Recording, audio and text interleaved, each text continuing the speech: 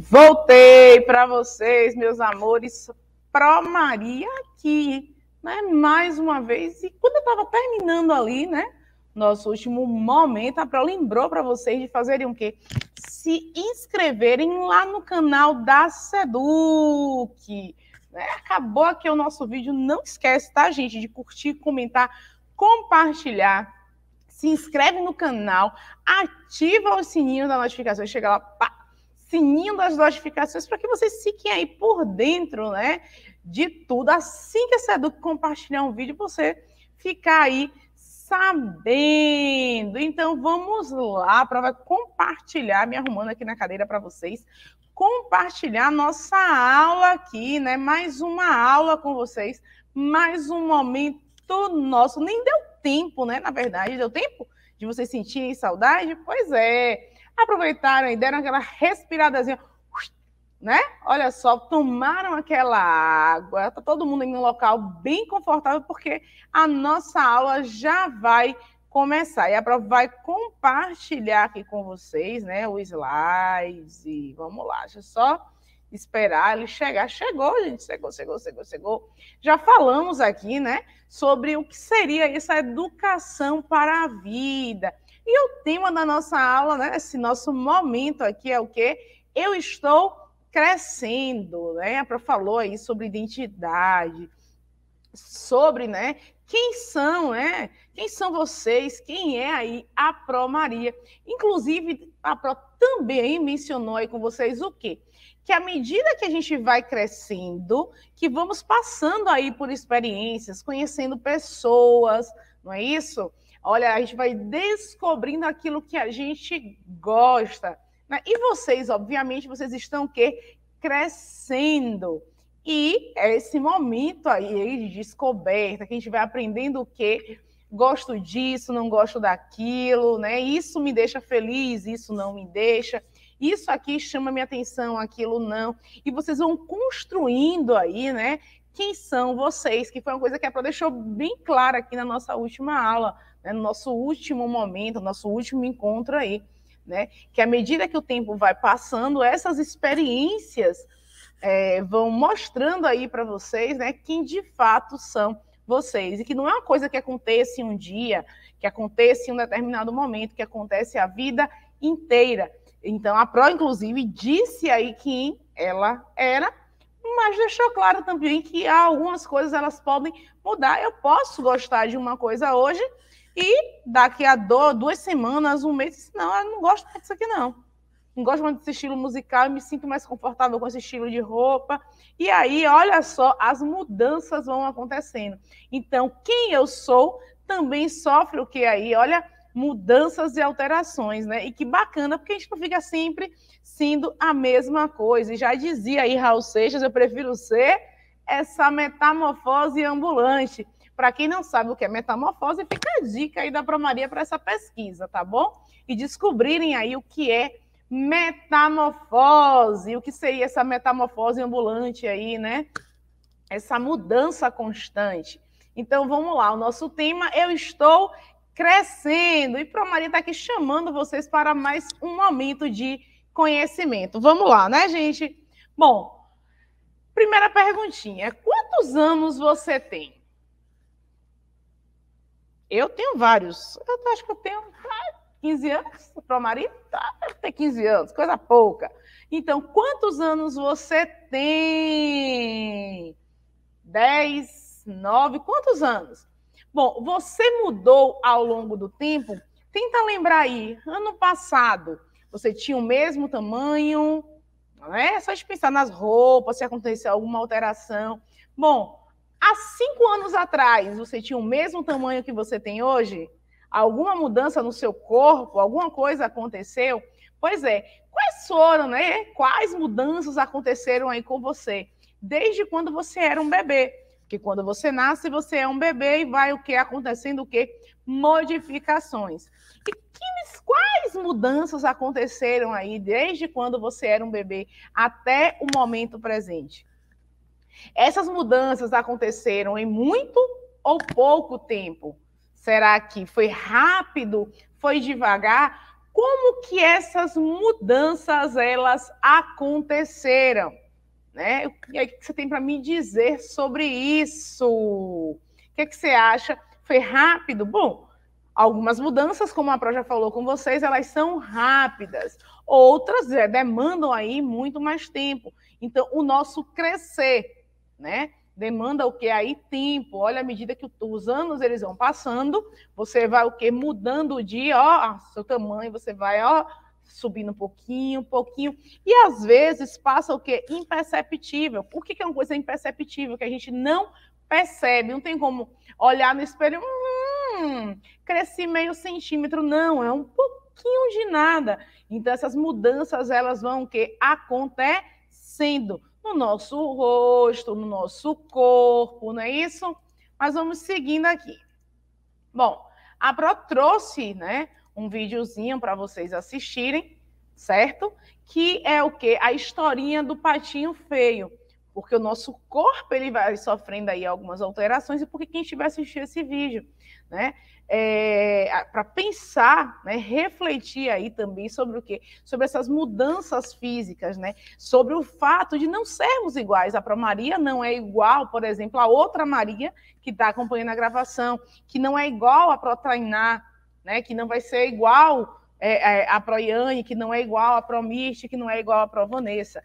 Cada uma tem um jeito, né? Um jeito físico, obviamente, se você olhar aí dentro da sua casa, cada pessoa tem um jeitinho, né? Tem as suas características físicas, né? O que não diz que uma pessoa ela é melhor do que a outra. A Pro, mas eu tenho um irmão gêmeo. Mas se você, né, você aí que tem um irmão gêmeo, vai perceber o seguinte, que também tem o quê? Mu, ó, coisas diferentes, mudanças de um para o outro. É isso? Então, ah, mas são gêmeos idênticos.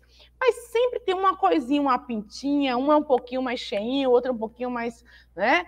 slim, ó, magrinho ali, tem sempre uma diferença. Então, as pessoas, elas não são iguais, nem em personalidade, nem em fisionomia. Mas vamos aqui para o vídeo, tá bom? Vamos lá. Olá, eu sou a professora Kelly e tá na hora da historinha! E a historinha de hoje é o Patinho Feio. Numa linda manhã, em uma fazenda, a mamãe pata observava feliz o nascimento dos seus patinhos. Quatro lindos patinhos amarelinhos saíram primeiro da casca. E por último, depois de um tempo, nasceu mais um patinho. Esse era diferente. Ele era maior, cinza e meio desengonçado os animais da fazenda vieram conhecer os patinhos da dona Pata. Mas quando viram o patinho diferente, ficaram espantados. E o senhor porco falou: Dona Pata, a senhora tem lindos patinhos. Mas esse aí, esse aí é muito feio. Depois disso, todos os animais da fazenda começaram a zombar do patinho, chamando ele de patinho feio. A mamãe pata pensou que poderia ter alguma coisa de errado com o patinho. Então, ela decidiu levar todos para nadarem no lago. O patinho feio nadou muito bem, tão bem quanto seus irmãos. Então, a mamãe pata ficou um tanto aliviada. Quá, quá, quá, quá. Ele é diferente, mas continua sendo meu filho, disse a mamãe pata.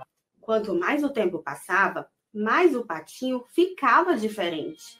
E todos os animais da fazenda viviam rindo dele, inclusive seus irmãos, que viviam chamando ele de patinho feio.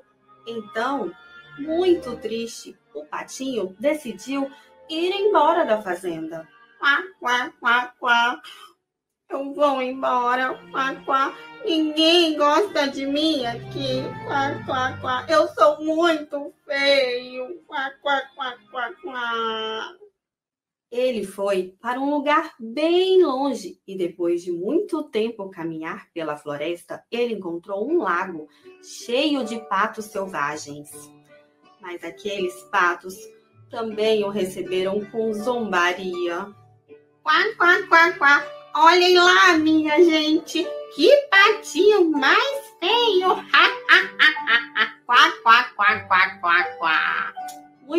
Triste, ele descobriu que ali também não poderia morar. Logo começou o inverno e o patinho quase congelou de tanto frio.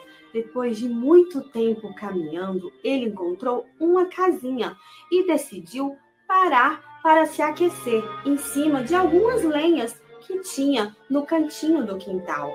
No dia seguinte, foi acordado por uma bondosa senhora que lhe disse: Pobrezinho, deve estar com muito frio. Venha, vou lhe aquecer. A senhora levou o patinho para dentro de casa. O patinho ficou feliz, pensando que finalmente tinha encontrado um lar.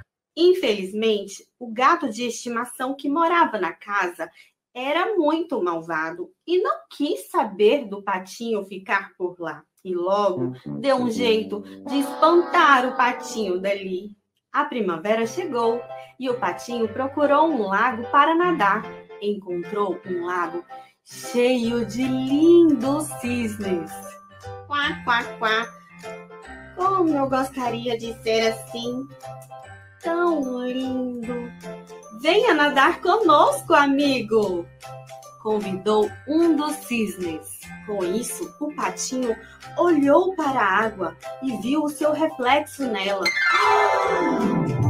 Nossa, esse sou eu mesmo! Disse espantado. Então ele percebeu que não era um pato, ele era um lindo cisne. Depois daquele dia, ele viveu muito feliz, pois finalmente tinha encontrado a sua família. Muito bem, gostaram da historinha? Então deixe o joinha, se inscreva no canal, compartilhe, comente a historinha. Voltei para vocês, meus amores. Olha só que história bacana, né? É, quantas vezes né, a gente acaba meio que não se sentindo confortável em determinados lugares, ou a gente acaba até fazendo alguns comentários que a gente não deveria fazer, ou julga, né? Olha, ah fulano é bonito. Ó, oh, fulano, não, não gostei não, achei ele feio. Mas o que de fato, gente, é ser bonito? O que é que é ser feio? Será que o que eu acho bonito é exatamente a mesma coisa que você acha? Então, por exemplo, vão ter pessoas que vão olhar para o cabelo da Pro, vou até arrumar meus cachinhos, porque eu amo arrumar os meus cachinhos, é isso mesmo, Brasil. Então, vai ter gente que vai olhar para o meu cabelo e vai dizer: Nossa, que lindo, que bonito, gostei do seu cabelo, bem estiloso e tal, diferente. Mas tem gente que vai olhar e que não vai gostar. E a gente não é obrigado a gostar de tudo, mas, né, a Pro, inclusive, já falou aqui com vocês. A gente tem que o quê? Respeitar as diferenças. Será que foi certo aí, né, que os outros bichinhos foram fazendo com o patinho, que acabou não sendo aí um pato e sim um cisne, né? De dizer feio, feio, mas para ainda, esse conceito de bonito e feio aí vai depender o quê? De cada um. Às vezes, por exemplo, eu gosto dessa garrafa, acho ela muito bonita.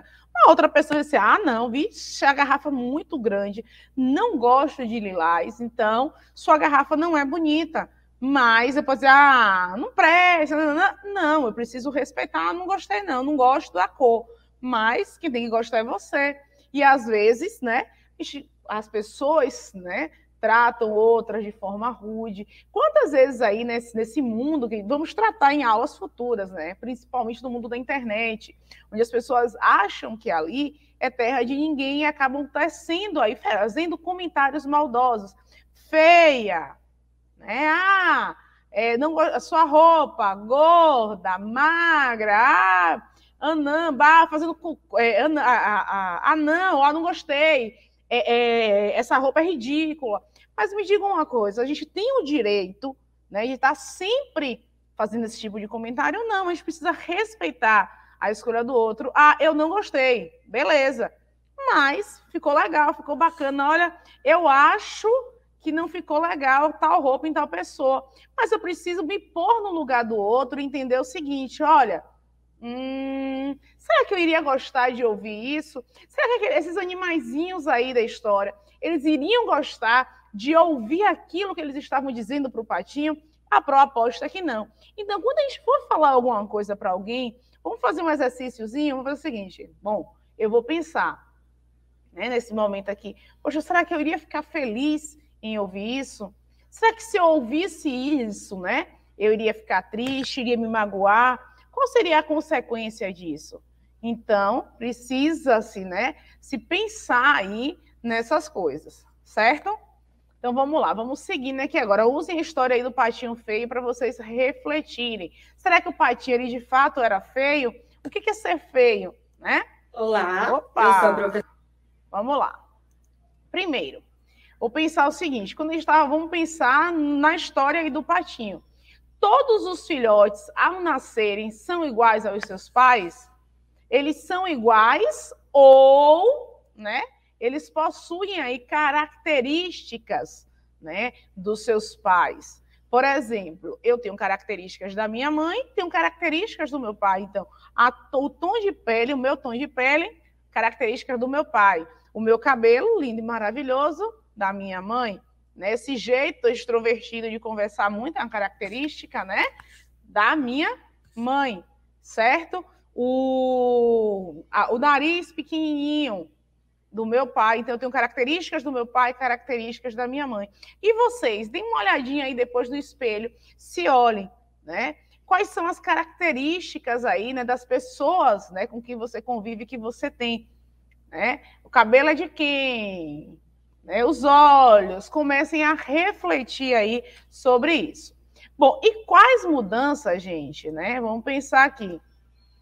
Quais as mudanças ocorrem no corpo das pessoas e animais ao se tornarem aí adultos? Vocês são crianças, mas quando chegarem na fase adulta, tipo, a fase que é da Pro Maria, quais são as mudanças que acontecem se você for é, menina? Mas quais são as mudanças que acontecem aí se você for menino? Acontecem mudanças no nosso corpo? Acontece mudança aí nos animais quando eles crescem, quando a gente tem ali. Quem tem aí um animalzinho em casa, um gatinho, um cachorrinho, né? Pinto, que aí acaba virando né, uma galinha e tal. Mas os, os animaizinhos, quando eles são filhotes, eles têm algumas características que eles vão o quê? Perdendo aí com o passar do tempo. Bom, Respondendo aí a primeira pergunta, né, que a Prof fez, a gente refletiu sobre, nem todos os filhotes são iguais aí aos seus pais assim que nascem, né? Alguns, gente, assumem formas diferentes em cada etapa de vida. Bom, um exemplo disso são quem olha os sapos, né, e as borboletas. Lembra que no início da aula a Prof falou sobre metamorfose? Pois é, é só lembrar aí, né? Foi proposital, na verdade, de colocar essa palavra lá no início para que vocês depois venham aí a pesquisar. A metamorfose, na verdade, é essa mudança, né? Os sapos, eles passam por essa mudança, eles começam lá, né, como girino, até chegarem aí na fase adulta. Inclusive, vale aí a pesquisa para vocês. E as borboletas, olha, começam como lagartas e viram aí lindas borboletas. É só a gente começar a observar o ciclo de vida aí de cada um. Todos os seres vivos, eles passam por duas etapas da vida, que é nascer, né, que é quando ela começa, e a morte, que é quando ela se encerra. O período entre o nascimento e a morte vai variar bastante, né? Algumas pessoas aí vivem anos e anos e outras nem tanto. Inclusive, aí nesse período de pandemia, perdemos várias pessoas, né? Isso por conta da, é, da pandemia, desse vírus aí, né? Que acabou agravando, é, se agravando em algumas pessoas e essas pessoas acabaram aí, infelizmente, vindo a óbito, né? É, e aí, essa, né, esse período aí de vida, né? Vai variar de um uma pessoa para outra e de uma espécie para outra. E isso aí, né, tem também muito a ver com a qualidade de vida. Então, aquela pessoa que se cuida mais, obviamente, ela vai viver mais, a não ser que ela seja acometida aí por alguma, alguma fatalidade, né? Bom, e aí, quando eu estava falando dos animais, né? Imagine só, é, um camundongo, eles costumam viver não mais que quatro anos, né? Que já vai ser diferente dos gorilas, que não ultrapassam 40. Já os seres humanos, eles vivem aí o quê? 120 anos. Cachorro vai ter uma quantidade, um tempo limite aí de vida. O gato, a tartaruga, o passarinho. Então, cada um desses animais aí vai ter o quê? Um tempo de vida. E o ser humano, gente, ele consegue viver aí, né, até 120 anos. E quando a PRO diz até, não quer dizer que todo mundo tem que ir até 120 anos, né? Cada um aí vai variar também da sua qualidade de vida. Costumamos aí, né, considerar que a vida humana ela está dividida em fases, certo? E é, a forma de divisão ela vai variar bastante, mas geralmente ela é feita assim, né? Primeiro vem quem? A infância, né? Que é a fase que vai aí desde o nascimento até os 11 anos de idade. Então, quem está aí nesse período quem de vocês aí está nesse período? Porque quem está nesse período aí está vivendo a infância. Esse período da infância, né, é um período aí de muita aprendizagem e de novidade, porque constantemente vocês vão descobrindo aí várias coisas, né? Que é quando começamos a descobrir o mundo aí à nossa volta e a relação entre as pessoas. É só a gente parar e pensar um pouquinho. Quantas coisas aí vocês foram descobrindo aí, né? É, recentemente, nos últimos dois, três anos, de como se usa, né, de como acontecem as coisas. Então, é, alguns de vocês podem já ter ouvido né, falar sobre é, as borboletas, que elas vêm aí das lagartas, mas pode ter gente que descobriu isso agora. Então, quantas descobertas né, vocês vão aí passando no decorrer da vida de vocês? Bom, é na infância também que começamos o quê? A falar e andar. Pois é, quando a gente nasce, a gente ainda não sabe falar e nem andar. E a gente aprende isso aí, né? Logo lá no nosso no iníciozinho da nossa infância. É também na infância, né, que geralmente se inicia aí os estudos e se aprende as regras, se aprende os limites, né? Bom, aqui nessa fase somos bem dependentes de nossos pais ou responsáveis. Por quê? Porque se precisa para tomar um banho, né, quando se é pequenininho, se precisa para alimentação e para diversas outras coisas. Então, na infância, existe essa dependência aí dos, aos pais e responsáveis. Aí vem uma outra fase, a adolescência, que costuma ir dos 12 aos 20 anos de idade. Nessa fase, ocorrem muitas transformações no corpo e na mente. Estou nessa fase linda aí, tá, gente? Adolescência plena. Então, é nessa fase aí que as mudanças elas começam a acontecer. Nas meninas, os seios eles se desenvolvem. O corpo se apresenta um pouco mais arredondado, né? Porque as meninas vão ganhando mais, é, mais volume, aí ganhando, que se chama de ganhar corpo, né? O quadril tende a se apresentar mais largo e surge então a menstruação, tá? Bom, nos meninos, a voz começa, né, a engrossar e algumas vezes no início dessa mudança, ela pode aí se apresentar desafinada, mas isso aí é uma preocupação para quem canta, tá? Nos garotos também podem surgir aí pelos no rosto, formando a barba e o bigode, que acontece aí nessa fase da adolescência. Depois da adolescência, vem então quem? A fase adulta. Consideramos né, que a fase adulta se inicia aos 21 anos de idade, né? E aqui as mudanças ocorrem na adolescência, né? É, já se estabilizaram. Então, aconteceu algumas mudanças na adolescência. Aqui, essas mudanças aí no corpo, elas já não vão mais, não irão mais acontecer. E, gente, a responsabilidade aumenta bastante. Começam aí a chegar os temidos boletos, as contas para pagar. Pois é, e por isso a responsabilidade aumenta bastante. Bom, e aí vem então, gente, a velhice, né? Que é também, ups, desculpa, que também né, é chamada de terceira ou melhor idade, né? É aqui ou um pouco antes que os cabelos começam a embranquecer. A pele se apresenta aí mais enrugada. Essa, né, é a fase em que a pessoa apresenta mais experiência de vida, podendo, podendo aí, né, nos ensinar muitas coisas interessantes. Então, se a gente reparar, olha só, a nossa vida ela possui várias fases, né? E olha, infância, adolescente, a fase adulta e ao que a velhice, que também é chamada de terceira ou melhor idade. E em todas essas fases, né? Olha, o ser humano ele está o que em mudança constante. Então, aquela pergunta do quem sou eu de fato, né? Ela, ela pode ser respondida aí de diferentes maneiras em cada uma aí dessas fases. A pro, mas é, tem que ser exatamente aí nessa divisão, desse jeito, gente. Não é que exista, ah, você vai estar na melhor idade aqui com tantos anos, é na fase adulta só que se paga boleto. Não, na velhice também se paga boleto, tá, gente? É, em várias, né, existe essa, essa nomenclatura, existe sim, realmente, a infância acaba aí aos 11 anos, porque vem a adolescência, porque depois vem a fase adulta, por que, que se precisa disso, né? Porque várias coisas, elas precisam ser respeitadas, principalmente se tratando aí, né, da criança e do adolescente, certo? Bom, e aí percebam né, que não é só o nosso corpo, né, não é só a nossa parte física que muda. As nossas preferências, elas obviamente elas vão mudar.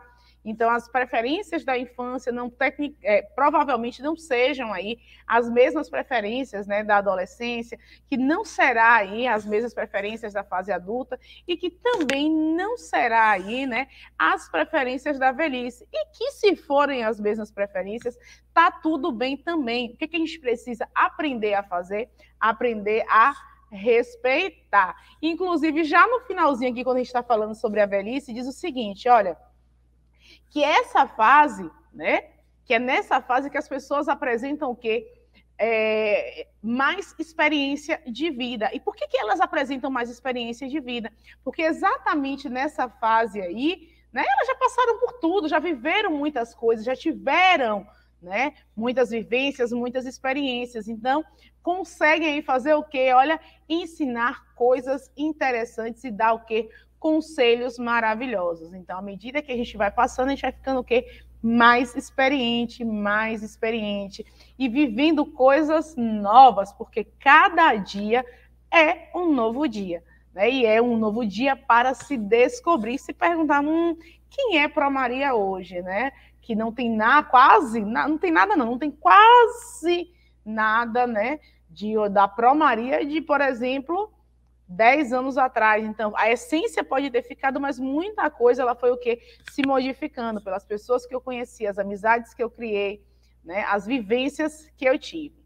Mas vamos seguindo. Infelizmente, né, nossa aula está aí, chegando ao final. Tchá, tchá.